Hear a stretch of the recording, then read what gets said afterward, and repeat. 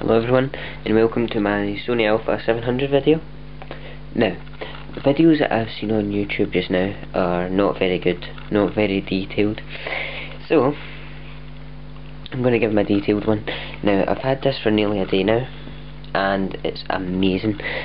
I used to use the Sony Alpha A A350 so I just bought the body only 700 and used the lenses that I had for my 300 so I'll get into it right away. So now I've got three batteries. One, two, three. And I've got one in the camera right now obviously. So I'll go ahead. Now what's new on this camera compared to the Alpha 300 is now I'll start with the top. Um, the button seems a lot more buttony, bigger and thicker. We've also got a turn wheel here, but we've also got one here. The Sony Alpha um, A350's got one just here, and that's all. Um, so it's got exposure compensation, ISO, white balance, drive mode, um, onto the front. It's got an infrared for the wireless remote, which I'll go into later. It's got a button here which you can set in the menu to either be uh, focus lock or depth of field preview. Yes, this camera does have depth of field preview. So I'll show you an example. Um, I'll bring the, the aperture right up so you can see it. And what you do is, is you press this button in to see. So I'll get it up here. There we go. There we go. See, you see? So if you hold the button in, you can see it changing. There we go. Um, that's new. Um, this this camera's like got all the buttons on the outside, so you don't need to go in the menus. It's got focus in here. Uh, now to the left side. What I needed was Studio Flash. So get Studio Flash there. Uh, we've got a remote a wired remote which I've got for my A350 there's a port for the computer. Uh, no sorry DC in for power. And we've got HDMI and computer. Now on to the back. The buttons are the same as the 350 um, so I'm not going into that too much. Uh, this button here lets you change from manual to auto without even going to the front and toggling it like you had to do in the 350 so you just press. So as you can see it's auto. And then you just press. And it changes it to manual. So nice and quick. Uh, we've got a exposure lock button. And then we've got metering modes here. We've got two buttons down here which I've customized this button to be the D-Range Optimizer. And this one allows you to get into all the functions like that.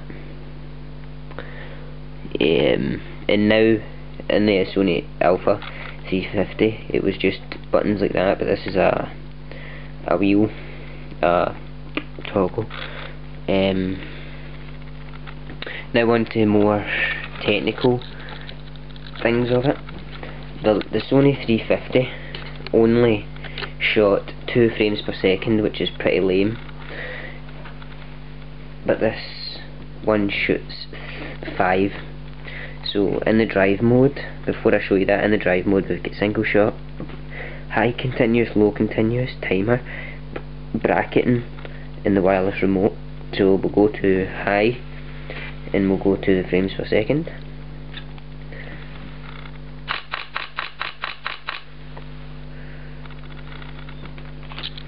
So it's very fast.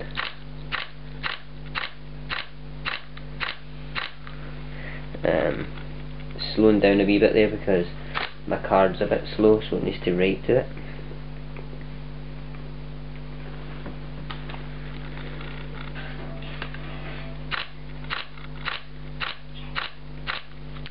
Um,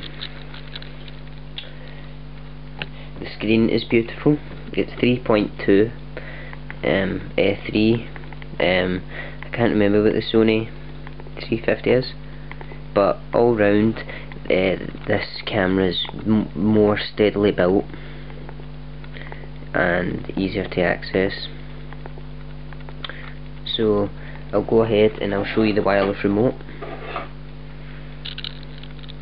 It's for showing your pictures, but you can also take pictures wirelessly. To activate it, what you need to do though is go to drive mode and then select remote commander. So this camera could be sitting on a tripod and then I could use this to take the picture. So it's good for group pictures and stuff. Uh, oh, I forgot to show the card compartment. You can compact flash, but you can also put an SD card in there. So if this runs out, you can use the SD card. So that's about it, guys. Uh, if you want to see the image quality, uh, I'll post a, a rapid share link in the description. So sorry guys, uh, I forgot to add a little thing to that video there. Um, there's this thing. If you go to menu and um, you go to a bit that says um, two seconds. Um, yeah, USB connection. Mass storage means that's how you take your files off the camera. But remote PC, I'll show you remote PC. It means you can be in a studio. Well, this is just the example that I'm using. You could be in a studio. You could be taking the pictures, but you could have your editor on the computer checking them out as they, they're coming through. So, I'll show you an example. Um, it comes with software for Sony. It comes for Mac and PC so that's it there remote sorry it's not focusing here. Remote camera control anyway. So I'll plug the camera in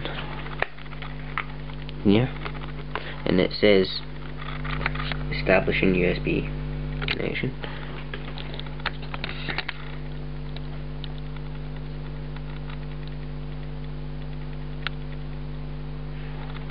So we'll click on the remote and it will come up and it will say PC so I'll show you the so you can control the camera for here so if you listen to the camera I will take a picture with the camera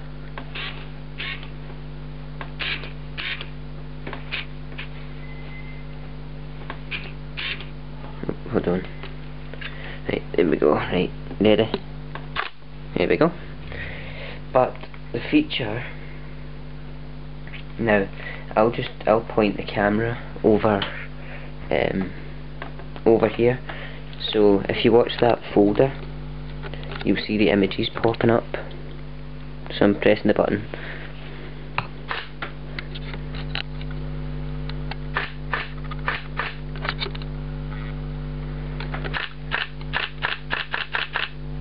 There we go so it's good if you're working in a studio or something like that so you can get the pictures straight to your laptop without having to save it to a card. So remember the link in the description